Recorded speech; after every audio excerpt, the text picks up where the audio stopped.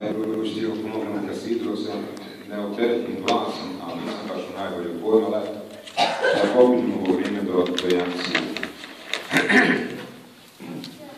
أعوذ بالله من الشيطان الرجيم بسم الله الرحمن الرحيم الذين يقولون ربنا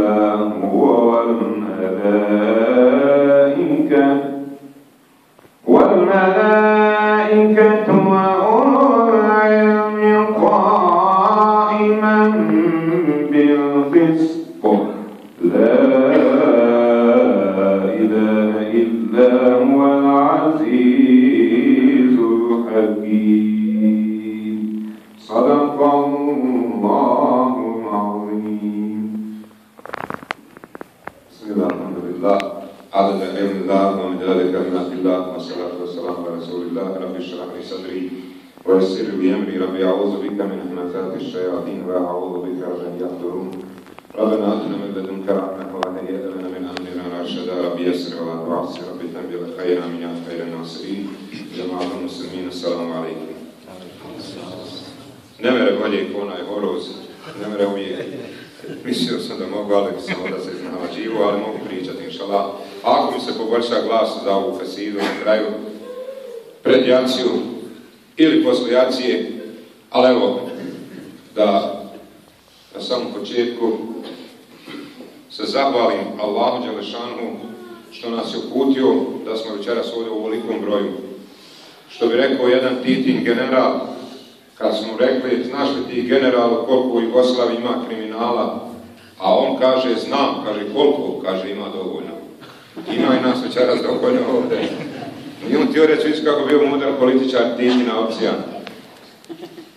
Drago mi je da vas vidim u ovom ovakvom ambijentu ove Allahove kuće. Zato smo zahvalni Allahu što je Allah putio ljude koji vole džamiju, pa hoće da daju za džamiju i da se ovdje okupljamo u odnosu na tamo gdje se bili, kako vam je sad ovdje fino. Ali pored zahvale Bogu zahvaljujemo se prije svega i ovim našim voditeljima, vođama, vašem Hafiz Mustafa Efendi, prvom čovjeku koji je ispred svega ovoga i vjerujem dobro, dobro zaslužno da se sve ovako dešava sa normalno sa džematskim odborom i sa svima vama koji ste dali priloge i još uvijek dajete da budete večeras i da i dalje nastavljate da ovdje Allah padate na. Tako da se ja prelijepo osjećam i evo kamermanima, posebno svom kamermanu kažem da snima u ovu posebnu levo koju nismo vidjeli ni u Bosni ni ovdje na zapadu. Baš ovako, pa nek ostane da ovo će biti na Facebooku, ja imam ko beljage i 5000 prijatelja. A, a na YouTube, pa da budemo promovisani ja i mi se zajedno ovdje u Noj Šatelu, u ovoj zemlji snova i maštije švicarskoj, u ovoj finoj zemlji, koja je dozvolimo nama bošnjacima muslimanima da ovdje ovako se fino, slobodno osjećamo i držimo do svoje vjeri. Zahvaljujemo se švicarskim vlastima. I znate šta još mi je drago kad ovdje dođem u Noj Šatel, što osjetim?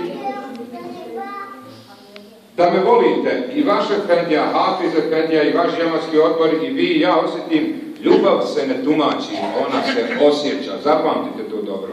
Ne treba niko nikome govoriti da ga voli, to se vidi tako da smo večeras bili počešljeni sa jednom super ekstra večerom, posebnom večerom koji nismo možda do sad nikad večerali, ali eto, bili smo počešljeni jednom posebnom restoranu. A to je znak vaše ljubavi, vašeg gostoprimstva. Znači i po tome se mora tumačiti jedno mjesto, vodeći ljudi koliko te cijene i voli. Tako da sam ja osjećam ovdje uvijek dobro došao u ovaj džema. To ne kažem svugdje, ne kažem Boga. Evo Bogom se Ali eto, i ljubav i mržnja se osjeća. I onaj ko te ne voli, zato kažu da je Hafiz Paslić, ta legenda Bosne, zvani, da ne kažem, e, Ismail, Ismail Hafiz, koji je 20 godina krenuo teravi s Hatmom i 20 godina nađišao, kažu kad bi htio negdje u kuću ući, prvo bi pogledao kakva je žena. Ako je namrgođena, kaže, nema bujrom, on se vraća. Pa bi se žene morala nasilu smijeti, jer ako se Hafiz vrati, kazat, pričat će se nije htio Hafiz u kuću. Jer ono bujroma, a vidiš tim da licu nema bujroma. Tu će ti prisisti ono što pojediš. Tako da ja večeras osjećam od vas i bez bujroma, ono bujrom. Jeste razumjeli? Znači, ljubav je ljepota, to je nešto najljepše što mi volimo, ali ima jedna suprotna strana i da se mrzi, ali nećemo večeras ćemo pričati o lijepim stvarima. I jednu ćemo poruku iz Mirađa kazati i jedan hadis. I tako ćemo se inšala družiti večeras ovdje da nešto i naučimo i doživimo i da ja vas zamolim da, da, da slušate, ne zbog toga što je meni stalo koliko koliko se onda ružno osjećam kad me ne slušate. Znaš, kad ti ženi govoriš, ona te ne gleda. A to te pojede, ti pričaš, ona ne ferma, ništa. To da ti nije govoriš. Pa nije baš veselo. Tako da se, molim vas da, da malo budemo ono, pažljivi. Možemo mi se nasmijati, ja i hoću namjerno da se nasmijemo, jer, jer smo, sad sam rekao, vidim ovdje u Švicarskoj E, do perfekcije ljepotu izgleda vanjštini. Ali svaka krajnost mi neka dođe da nema duši. Dođeš u restoran sve, sve nešto poukočeno, sve je nivo, sve je pedantno, uredno, lijepo, ne mere ljepše, ali ne mere ni u nas upasno pet sve kad je raskalašano, ali najbolje naći jednu, sredinu, a teško te sredine na tu sredinu pronaći da se izbalansirano. Da nije sve onako upito, ukućeno. To je ono opasno upoćeno. Vidiš onaj, svu ljepotu niti živi duši. Nema naroda, nema, ne osjećaš, vidiš cvijeće, svjetla, to ljepota, ali pusta. Ko, je ovaj narod špicar svoj? Nema ono u nas nekad, što je konačni selma bilo, pa to kriska nema ni struje, sad ima i onaj rasvjeta i asfalt konačnim selma. Ali sela su gluha, više ni šćena ne laju ponekad, znaš, pa ni pjane više ne idu po putu da piju, se vidi njaj u glavu. Nema više da on udališe po selu, sve se pokupa. Džungla je selo postalo. Šta nam je, ne znam. Uglavnom, ajde da bar dolazimo vode, da se bar vode fino osjećamo, da večeras u ovoj lahoj kući ne moramo nikako izgubiti, da se družimo i da jaciju zajedno klanjamo. I ovo da vam kažem za safove, što sam rekao, sad smijem kazati nivo džuma, znate, onaj, nas teško, posebno bošnjake, u ured utirati. Mi nećemo u suru po zapadu. Oni ovdje slušaju Boga, ovdje sve po sve što moraš, ti ne ti Pa i ovi sapovi, kad smo mi izbijeni jedni uz drugi, onda Bog između nas djeluje. I on nas uveziva. Šeta ne mere da nas razbaja. I to je naša snaga. Po sapovima možemo biti u snagu. Ja često imam uopće kazati, kad bi žene među nas bile, ne bi trebalo nikad sastane, nego ne malo rastane. Evo ovdje pisu Ženevi Francuska. Kažu tamo u Francuskoj ima jedan džema homoseksualaca. Hoću imaju svog. Da Bog sačuva sve presudi da ima. Naćete mi da i žena predvodi džemat. Svi vidite da žena klanja, a ovo ima. Ona naprijed. Sad možete znati kako se još iza. Živa istina, gledam na nasrce. Sad ne znam ja ne naštima. Ali ja kažem ovo za Francusku i za ovaj džemat, gej populacije. Sad su oni trend. Onaj, to si veća izrazna, sve sve moderniji sad u ovom vremenu. Ja kažem njihov vođa, daj, u Francuskoj nema problema sa sapanjima. Ne treba nikad nikad ima sastavke sa dobro Evo, da se malo i opustite. Da dođete kući da ne treba paurini, ni lopriju, ni nema pa, ni ostale tablete, da se fino osjećate. Kazat ću vam jednu poruku iz Mirađa i jedan hadis sa pet poruka, sa pet savjeta. Da budemo konkretni jer nas Pengamber uči, Allah nas uči. Insan je po prirodi zato nam treba da se opominjemo. Insan je zaboravan. Što ja imam oća reći, imam veliku moć zaborava. Pa se moramo opominjati. Ne da upućivamo, nego samo da opominjemo. Allah upućiva, ali mi često volimo ići u zonu koju Bog radi. Allah kaže da ono upućuje, nemoj ti upućivati. Ni dijete, ni nikoga. Ti samo pomeni, uradi što je do tebe. A ono prepusti Bogu. To je da posiješ, hoće biti poplava ako sad u nas uposli. Ne ti za to. To ti ne možeš spriječiti kako ti Ali ti reci, Jarab, ja sam uradio nešto. A gdje god se nešto radi, bit će nešto. Pitam našeg jednog glumca, imao nade za Bosnu. Vidite šta se s Bosnom radi. Preko Turske, Austro-Ugarske, Kraljevine Jugoslavije, Titini Jugoslavije, svaki u Bosnu svoje to iskorištavaju. Pa veli našim glumci jednu poznatom, imao nade za u Bosnu, hoće li što biti? Kaže nju svak, da ne kažem, Andrij kaže nešto će se izroditi, nešto će biti. Znači, nešto će biti, god oreš, nešto će niknuti, ali ako ne oreš, neće ništa niknuti. Prema tome, i mi što god radimo, nešto će biti. Vidi se gdje se radi. Evo vidi se da vi ovdje radite, da vaša Efendija, Hafiz Efendija radi. Vidi se. Vidi se gdje džamanski odbor radi, gdje imaju ljudi od biznisa koji hoće da pomogu. Evo ovdje švicarci, sad smo rauču, dva biznismena dali po 500.000 granata za Bosnu. Dvoje, znači to je milion. Ljudi koji nisu smanjili. Kad oni to pomogu izdvajati, kad imaju taj osjećaj i oni su Božja stvarenja, što ne bismo i mi, evo, imali priliku, najbolje parama. Evo, gore sad dvorao dva šlepara, velika su, jedan došao. Te garderobe doće, sam, da sam priti problem, gdje će se to baciti. Hoće Ahami, pa te garderobe sad ima najbolje para da to ne kupi. 2000 eura košta šleper. Sad da te 2000 eura tamo se mogao kupiti šleper mlinka. Ne znam ja šta se mogu uzeti, što će se on platiti sam prevoz. Ali neki šleper zaradi, taj, što će doći. Ne, si ne bi ulazio. To je da dadneš, a nemoj dalje pitati. Nek oni dalje odgovaraju kući dalje rasporediti. Ovako, Mirađu smo sam kazati vezano za namaz.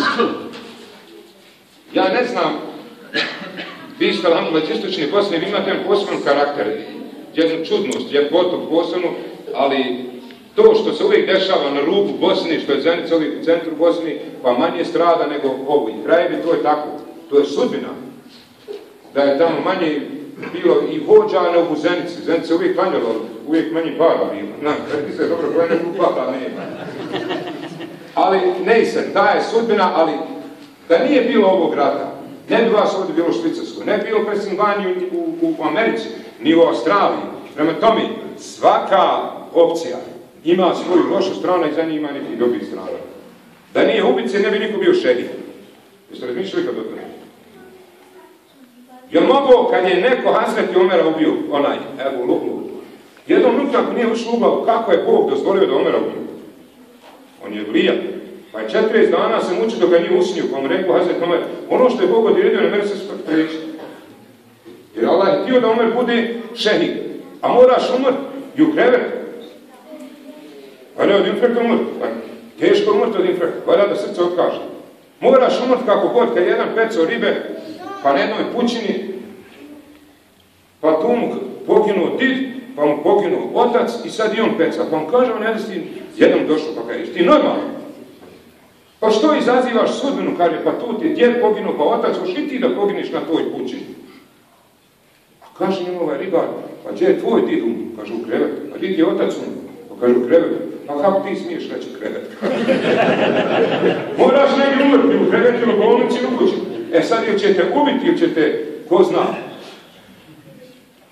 Tako da je iz te strane, na jednoj strani imate zlo, a na drugoj veliko dobro. Da bi neko zaradio dženet, mora neko zaraditi dženet. Jeste razumili? Znači, nije dobro biti ubica. Mora neko biti ubica da bi ti bio ubijen. Tako bilo šta da se, što se dešava, imaju i ovu i onu stranu. Pa, govorimo ovo zbog istočne Bosne i tog stradanja kroz historiju, kao što je problem i bliskog istoka. Bliski istok je uvijek bio problem. Sa Jerusalimom istok, istorija počela, tu će završiti. U Izraelu će se istorija završiti. Tu je kraj historije. Tu dolazi Isa sam, dolazi Deđa, dolazi Mehdi. Tu je kraj historije, a tu je počet. Nije slučajno Muhammed A.S. iz Mekke išao na mirač iz Jerusalima. Je li, je li iz Mekke išao na nebesa? Nije. Nego iz Jerusalema. Tu je inteligencija. I šta mi je gore propisano? Namaz. Ono što nama fali, a falilo je i istočnoj Bosni, i rubovima Bosne, i krajini, malo centralna Bosna više država što je bila tu negdje u, sredini, pa je bilo više vođa, pa su tu turvini ruglao. Talno je to bilo, samo klanjat, nema drugih, klanjat. Jedan je tako, da vam ispričam kako ga je gonilo klanjat, koliko je to njemu ušlo u krv, samo deži se na saba, nema odmah na česmu na poljadesti. Jednom je taj hudnjak zasku na podne, i otac kaže, trebalo na njemu neki čiračkare. Diži sam kako usto pravo da se abdesi. Kaže, ne, ne, abdes, na njemu. Nije ušlo to u glavu, je to. Samo klanjat, nema drugih. Tako je u nas u Zenici. Pa vjerujem da ima, alhamdulillah, sad vidite koji je hajr, što ste vi, evo ovdje sad u Švicarskoj. Da znate da treba 30% Bosna živi od dijaspori, a da nije bilo ovog rata, ne bi vas ovdje bilo. Dijaspora 30% drži Bosnu, suhe pare dolaze u Bosnu. Ne samo iz Švicarske, iz Amerike, Australije. To je, tu se zna. I zato je rečeno u Bosni se živi, a ovdje se radi. Znam se do podne spava i niče na lako. Ali vas je Bog počastio da radite i bolje da radite nego da čekate ko će vam dati. Zato bude uvijek ne ona sakata tica ko će joj doniti, nego da ti budeš najšto doniti. I bude ponosan na to. I nemoj kazati ja sa svi svoj pet prstiju Reci, meni je Bog dao zdravlje, dao mi pamet, pa me poslao ovdje. Bog vas ovdje poslao u Švicarsku. Nemoj se ti došao što ti misliš da hoćeš doći. Moraš, ako misliš da si zdrav, moraš do sabaha se upočiti. Moraš se paralizati, moraš možda ni pa šta onda? Nemoj sebi pripisivati, nego Bogu prepiši i držite do ove konekcije namaza koja je rađu propisana. Gore je namaz propisan, na nebesima. Znate šta sam danas rekao u nadrugoj hudbi gore u Arau? Da to ovdje zbog kamere nismo se gore snimali, da kažemo zbog onih koji gledaju preko YouTube-a, ovo je veliki hajde za onih koji hoće hajde. Što je gore namaz propisan, što nije dole na zemlji? Svi su propisi dole, a gore namaz. Znači, ko hoće da se uzdigne malo više gore, mora klanjati. Mora uspostaviti vezu sa nebom, sa svemirom, jer je Kur'an spušćan s neba.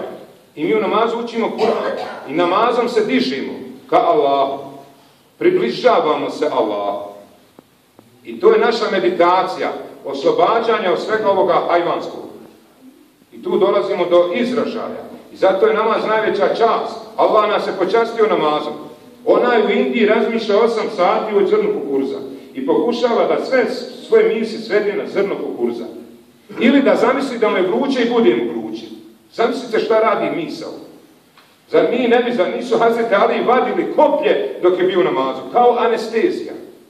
Zar onda ima išta veće i ljepše nego kad s Bogom pričaš? Da te Bog počastio da se malo digniš.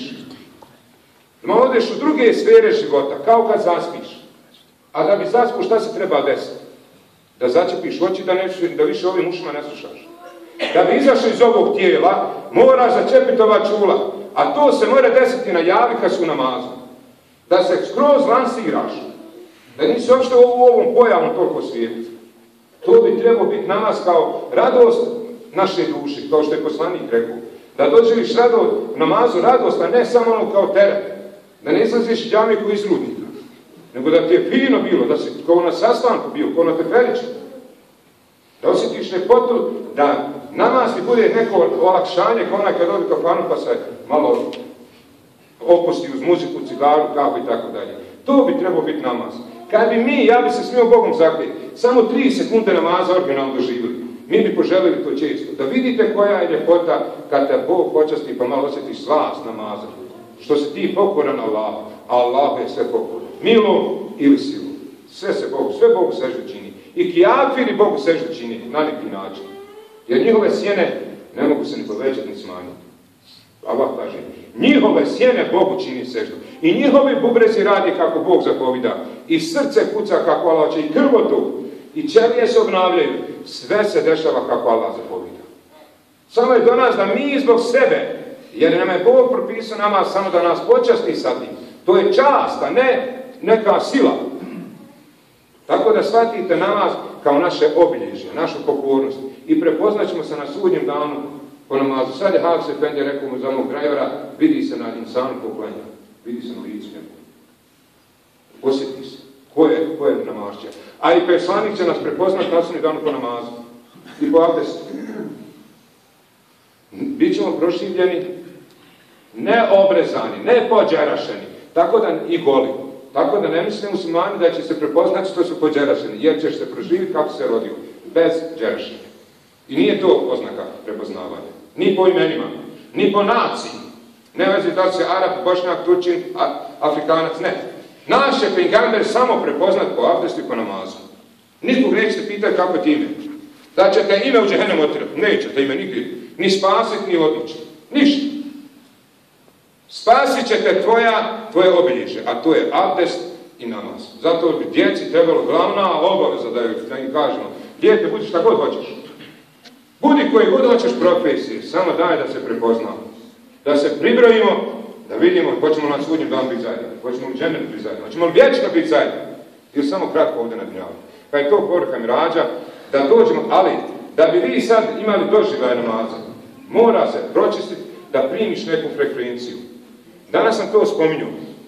Šta je nam palo jednom džematliji u Zenici? Evo da čuje i Hafiz Efendija. Prošli džemi sam to govorio.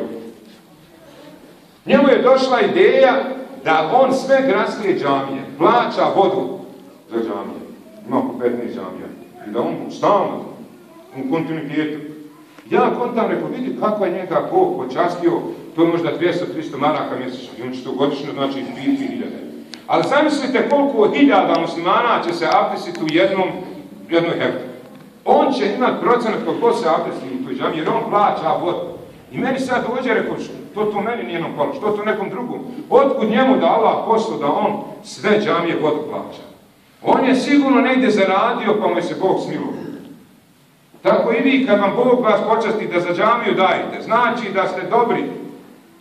Jer pare moraju negdje otići, otići u beton. Skrhat ćeš u kuću, pa ćeš samo nešto dodavati i niješ nikad završiti. I niješ nikad na hajda, samo ćeš u nešto ulagati. Ali nekog Allah dade pa daje za džami, daje za hajdove, daje za stipendije, stipendira učenike, pa ti učenici što god budu radili i on će imati na svom kontu kod Boga. Eto nekom se Bog smilije pa otvori mu srce pa zna dat, uhaj. Ali ne mere svakom se to otvoriti. Evo meni jedna žena iz Oberhausena, prekućer me zove, kaže Hafize, ona mene ukiva u zvijedu, ja znam da ne valjam, ali eto njoj se ja nešto Kaže kako mene sluša na youtube i sluša CD-ove, čita moje knjige, mi živa istina. Kaže, ja imam četiri posla. Pazite, četiri posla imam. Kaže, Bog mi dao. Kao što sam spominio jednog mladića kako je došao u Sloveniju. Rekao ti u Sloveniji, kaže, ja Allah molio za posao. Gdje se nikad čuti da neko odmah ga posao? Ja ne tražiš od biznismena, jel? Kako što u Švicarsku, kako ćeš se ovdje oženiti, pa da dobiješ papire, jel tako? Znaš, obično ti, ti procedure. A on je rekao, ja bi me za posao. I znate šta je se desilo? Došao čovjek u njegovo selo i pitao ga hoće raditi. On sad njega pita, vidi kad Bog interveniše. Ali mi ne vjerujemo Bogu. Ja mislim kad ja vjerovao Bogu, da bi sve bilo drugačije. I ja ovaj. Ne da ja vas pitam da li vjerujete u Boga. Svi mi vjerujemo da Bog postoji. Ali vjerujete li Bogu što Bog kaže da je tako? Opet na šetan privari. Mi više vjerujemo šetanu, ne Bog, da Bog sačuva. Šetan kaže, gotovci, propašćeš ako dateš. Ljudi su za cigare sam dali, no, su nahađi otiš nekoliko puta, jel ne? Mogu su nekoliko hađeva pokušati, neku dvana. Nikad nije šetan neko gotov. Jel vam treba šta da sad takvi kad dobro Neš ti čitav što da, nek da izbiti. Jel da nam šetan zaprka? A Bog na 90 mjesta u Kur'anu kaže ko daje neće izgubiti, a šetan sam na jednom mjestu straši opet na svom. I ispani da više vjerimo šetanu nego Bog. Ko nemaš ti klanje, ima se za sve sam kad hoćeš. I ko ne vjeri nek daje za džami, nek pomaže, vidit ćeš kako Allah namiri. Samo nek, nek, se testira. Neće nikad Allah izgubiti. I ko uzajam pare daje, neće nikad izgubiti. Ne mora ih ni vraćati. Ne mora, ne mora se puno guriti. Jedan je došao, sam pričao, kada je 70.000 čovjek uzajam, sam tu govorio. Došao u Bulgariju 70.000, znaš, nije to 7.000, nego 70.000 uzajamio čovjek da obrne na nekoliko dana. Ali ovaj ne vraća. Valjda i ovaj ovoga zato što me je trebao vratiti. I ja ovaj, kako vidio, kakve su pare, došao da poludi, je Bugariju, došao u Sari, kaže šta ću ja čovjeka ubiti. Ja svako jutro pištol uzmam i da ga idem ubiti. Ne mene zovu. A naš tamo kaže Bugari, kaže halalimo. Joj, kaže, mogu i Bugarija ubiti. halalimo. 70.000 da halalimo. Ali slušajte šta je se desilo. On je opet kontu. Razmišljao je on. Ako ga ubije, ode u zatvor. Opet para nema, jel da? Gore opet sad ubija čovjeka, nema para, nema on u zatvoru. Pa šta je dobio? Još je ubica. I halali mu zdrava srca. Baš mu halali. I došao čovjek za tri dana. Dobio čovjek para, pa da vrnu. I dao mu je na kahu 20.000. Nemojte sumnjati kad Bog hoće nešto. Onda ovaj mora to raditi kako Bog zapovida. Meni su lopovi skoro prije mjesec dana uletili u kuću. Mafijaši. Žena bila, čerka nije mene bilo, znaš, ne Ali lopo kad uđe, on nema respekt, on stup. Ali su oni ušli dok je žena pitala šta je, šta hoćete, Kur'an su čuli, u kući mi učio Kur'an, gdje su mislili, ko zna ko sve ima u kući. Jer oni su bez, bez tvonjine, bez išta, uletili u kuću. I samo se vratili, pobjegli. A što su pobjegli? Pa ja bih rekao, Bog je vratio, jeste razumeli? I zato vam kažem, za vaš imetak, za vaše živote, ne, ne švicarska banka, najbolji je garant Bog. Kad ti Allah čuva imetak i porodicu, ti najbolji čuva. Allah je najbolji. I kad Allah interveniše i zaposlit ćeš se i ozdravit ćeš i spasit te okupa. Najbolji je čuvar Allah. Ako vjerujemo Bogu, ali ovdje je problem da li mi Bogu vjerujemo da Bog najbolje čuva. I opet kontamo kad mi imamo da Bog čuvara, to će bolje čuvati. Jel da? Malo mi Bogu vjerujemo. Ne u Boga. Svi mi u Boga vjerujemo. Ali slabo Bog vjerujemo. Kad Allah kaže, ko traži dobit će. Ko vjeruje da Bog daje, sigurno će mu. Ko vjeruje da Bog upućuje, upuće ga. Jer to je misao. Gledajte šta se dešava s mislima kad ona Tatarka preko televizije ti je ne zoveš ona ti sad odgovara za tvoje stanje. Kaže godina rođenja, to, to. E, kaže, u maju ćeš obletiti oko kuće u ta doma, vratit ćeš to i to i krenut ćete. I ti njoj povjeriš, ali sto postoje tako. I tebe će već krenuti jer ti se već pripremio da će ti biti bolji. Ti će ti bolje svako vjeriti. Jeste razumili? Kad ti doktor rekne nije to ništa, dobro se ti zove, ti odmah duplo zdravi. Jer vjeruješ dobro. Kad bi mi Bogu vjerovali, mi bi duplo zdravi bili. I bili bi smireniji jer znamo da bez Allaha se ništa ne mere desiti. I kad ti Allah nešto hoće, ne mogu svi ljudi spriječiti. Ne mogu doktori pomoći kad Allah neće. Džaba štele, prinčevi onda ne bi umirali. Oni imaju milijarde, ali ne mogu platiti. Nema, nema i važno, se razumili. A kad Allah hoće, onda i ozdravljiš. Pa vam volio bi da vam kaže da vjerujemo Bogu i ja i I da se bez Allaha ne mene ni jedna kap više ispušati. I svi ovi koji su poginuli, ovo što je poplavi se desilo, ništa se bez Allaha neće desiti. Da znate da je to sudbina života koja je već zabilježena. Ovo što mi živimo za Boga je repriza za nas premijera. Ovo je sve već Allah, sve se zna ko će već se zna. Pa Pejgamber već uzeo dvije knjige i kaže ovdje su džehennem, ovdje džennetli. Pa nema se šta tu sad mijenjati više. Nego samo čini dobro, čini hajrate i vidjet će, alhamdulillah, ako si vam ti treba. Jer moguće biti tamo gdje ne treba. Vidjet će, alhamdulillah, najveće čudo kad nekoga Bog uputi. Pitali šehe Bistami, je li čudo da čovjek ide zrakom? Kaže, nije, znate li se se bacam po zrakom govoriti? Jeste vi čuli leti nastavki ode. U nas donesu šlama, ali mi imamo šlama, nismo stara nam donesu šlama na zemljicu. Nastavi odeš. Znači, mogu zrakom ići, pa nije to čudo. To je šeitan. Može se i po vodi bude. Ni tu nije čudo. Pa kako će šeju Bistami, šta je čudo? Čudo je kad neko kreni pravi Šta je u njega ušao, on postao drugi čovjek. Jesi to razumeli? Juče je bio onaki, sad postao drugi insan. To je dan. Šta je u njega ušlo da je se njegov život preokrenuo? Pa je poruka mi rađa s namazom.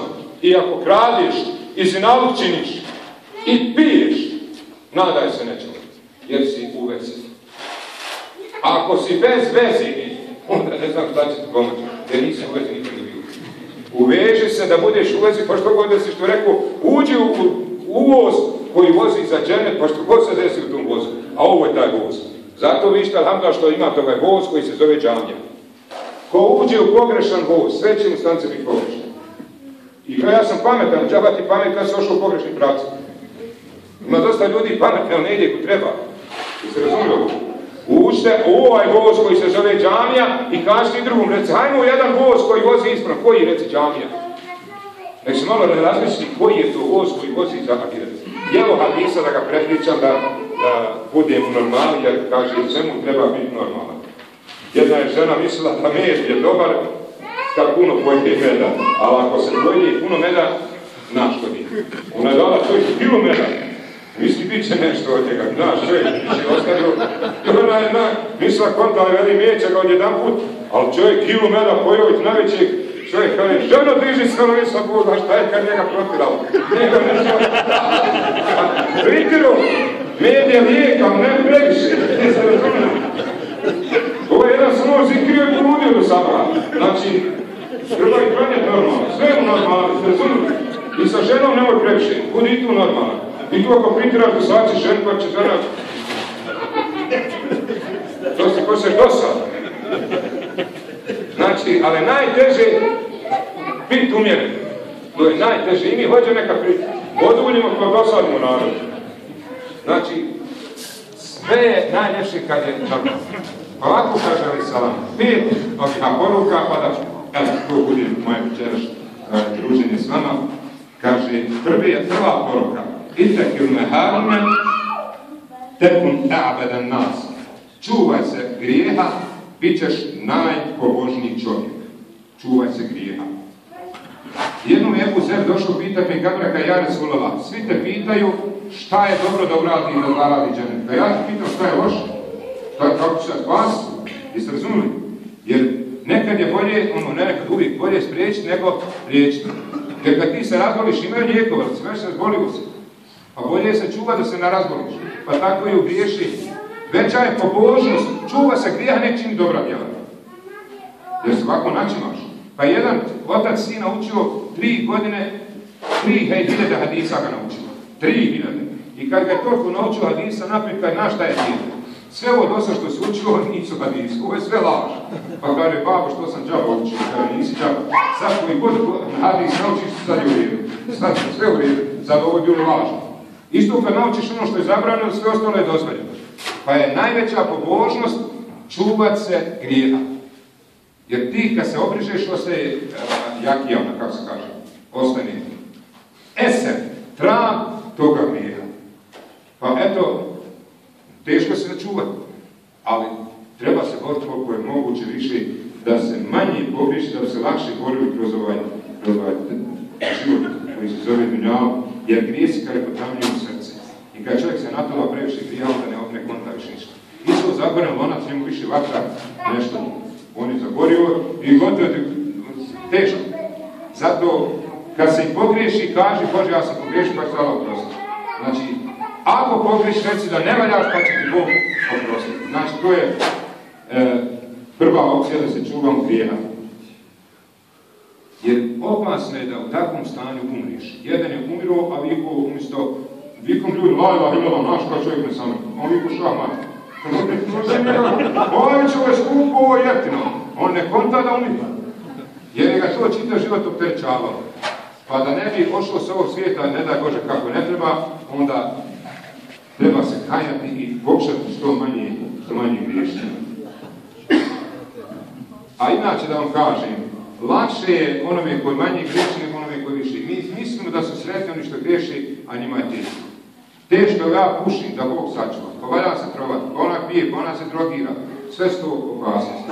Pa je lakše manje grešiti, lepše se živi. Drugo, da ne dulju, ovaj, kaže, Uarbi ma kasem Allahu leke tekun akne nas. Budi zadovoljan s onim što ti je Bog dao, bit ćeš najbogatiji. Najgore je kad čovjek ima nešto pa hoće još. I nema kraja. To je isto slana voda, misli da ćeš se napiti ono još. I da vam ispričam živu istinu, jedan moj prijatelj u Hrvatskoj radi i živi. I kupio je jedan mileć za 50.000 eura. Nakon tri godine skonto da ga mora prodati za 100.000 eura. Da sad obrne pa da duplo zaradi. Nisam ni ovu priču, kada Nisu. E, da, da vidite što je čovjek, ono, kad nisi zadovoljan. Sto hiljada je njemu došlo u glavu samo da toliko uzmi. I dao na oglas, ne da niko više od 80. 70, 80. Ali hoće on sto hiljada, njemu je plahno da duplo zaradi. Ne ide. A kaže, ja svog komšiju nisam ni pitao, ja vam tražim ljude poglasno, pa ću vam komšije pitati, komšo, jesi ti čuo da prodajem ovaj mileć? Kaže, nisam, pa kaj je pošta? Kaže, sto hiljada eura. A komšo ne pita da je puno, kaže, kad ćeš pare? Joj, kad je rekao kad ćeš pare, što ne reče 120 hiljada? A vama je bilo 100 hiljada, kad je komšo rekao kad pare, sad kad ne mogu sam još. I onda sam rekao, Bože, daj mi koliko mi treba, ja više ne znam koliko mi treba. Nisam ne vam, roko Ne mereš ti to za, samo zemljom mu usta moraš da čeka, ništa ni više. Kad imao sto žena, rekao daj mi još sto jedno. Nema kraja. I hiljadu jedno bi tražio. Oni kad su pećin ulazili, kaže, ko uzme i pokaže se i ko ne uzme. Pa hajde jedan ti uzme, ja neću uzeti. Kad su izašli, ova što je uzeo bili trebulji. Ovaj se odmah pokao što nije uzeo. A pokao se što je uzeo. Što je sam pokao? To što nije još uzeo. Čovjek hoće uvijek više. Zato treba znati koliko te dunjavka treba da bi radio za treća opcija jeste voli hibben linna si ma tu hibu li nefsi tekom muslime. Voli, voli ljudima što voliš sebi, bit ćeš musliman. Znate kad je najbolje kad se zemlja dijeli kako je dobro zemljište Kad dvojica braća zemlju dijeli, znaš kako treba? Da kažeš ti Lazaru, haj ti po polovi, a ja ću birati. Jeste razumeli? Kada sad po polovi, kako misliš da je najprevednije? Jer obično ti kad polovi gledaš koji će tebi dio doći. Ne, ne, ti polovi, a ja ću izabirati. E to je ono, želi drugom koji sebi. A sahabi su voljeli više drugom nego sebe. Recimo, Ebu Bekir je toliko volio Pengambera dok je on pio voda i on žedan, umiruo žeđe. Ali toliko ga je volio da je on kvasio svoj žeć dok je gledao kako poslanik pije. Kao majka kad gleda kad dijete jede, a njoj drago ko da se ona hrani. Jer voli. Prema tome, ovo kad voliš drugom ko sebi, onda si pravidan. To je najveća pravda. Kad voliš drugom koji sebi. Pa kad ti neko dođe, počasti kako sebe. Pa ako si ošao drugom radu, radi koji sebi. Ali ne smo taj takvi biti. Smušenimo drugom, a sebi bi drugačiji bili. Nismo pravidni. Budimo iskreni proti sebe. Najljepša opcija da sebe izvakaš jeste zamisli da je to tebe. Pa što vidi kako ćeš drugačiji biti. U svim poslovima zamisli da si ti sad u poziciji. Zamisli kad neko sad prijevate. Nekoga ogovarate, potvarate, neko je pogriješio, zgajzu, a ti se veseliš. Zamisli da si ti na njegovom mjestu, pa vidio kako bi sudio. Postavi se, nije uvijek ono kako ti misliš treba sve političare pomesti. Da ti zamisli sebe da si ti političar, pa vidio kako je. Najlakše nikad ne valja. Da ti vidiš šta ti valjaš. E to je ta pravda, voli drugom, bar po sebe, ne više, bar po sebe. Četvrta opcija, ovo što nas Pegamber uči, jeste vakcin e, ila džarif tekom mu'minen. Čini dobro susjedu, bit ćeš vjernik, komši. Komšija će komšije su tužiti na svojim danu. Sad u redi nima više komšiluka, ali nekad je bilo, sad više, u sad, ovako sad oženi, a sam čudnim da se ženi, vidiš, mladi, ni ništa, nema ni prijela, nema ništa. Onaj, nema više komšiluka. Sad po deset godina komšija komši ni ne dojde, ne znaju se. I tako dalje, ali ovdje bi rekao ovo. Najbolji je onaj komšija koji ne smeta drugom komšiju. Neko i puno pomaže, neko ko ne smeta. Nemoj me sam smetati, pusti me da fino živim. Jer to je najbolja opcija. Da se ja ne mogu žaliti na svog komšiju da me smeta. Znači, ali eto kada čini dobro komšiji, jer komšije su tvoje sudije. Ako ti komšije reknu da si dobar, i Allah će dopisati da si dobar. Evo, ako ne znaš kakav si, pitaj komšije. Ako oni reknu dobar, a ti ne vedaš, nema veze što ne vedaš, na jednoj dženazi je postavljena dženaza i pita poslanik kakav je bio. Kažu dobar. A dođe Čibril, Pegamberu kaže nije bio dobar. Kri, stajio je neki grije, skrivu. I onda je Allah rekao i ja sam mi sakrio. Jer komšije nisu znali. On nije bio zarazan. On je skrivao svoju šubu, svoje grijehe, nije bio opasan po okolinu. A sad kad javno neko čini grije, onda i oni drugi okolo njega pođu, pa kad mora mogu ja. Jeste sad razumili? Znači, bolje je grije sakaj, kaj što zna Bog, nek zna i narod. Nek narod ne zna. Jer nisi opasan za okolinu kad narod ne zna. Ako misliš da je to dobro, kad ti čerka treba abortirati, recimo moja čerka prostitutka ne odašla ošla abortirati, reći tu, tu Bog zna. Što to krivo? Bolje je grijesak, ću brelkvi se na selima bili, Čubrav se pokrije, manje ima muha, jel da je? Manje se širi zaraza kad je pokriven. Pa i grijeh je jedna vrsta toga, sakri. Pa ako komšija ne zna, kazat će komšija je ono fino komšija, ne znam što ti griješiš, sakri. I Bog taj koji skrije, pa će ti sam dan sakri. I peto, nemoj se kad je previše smijati, jer preveliki smiju mrtvije srce.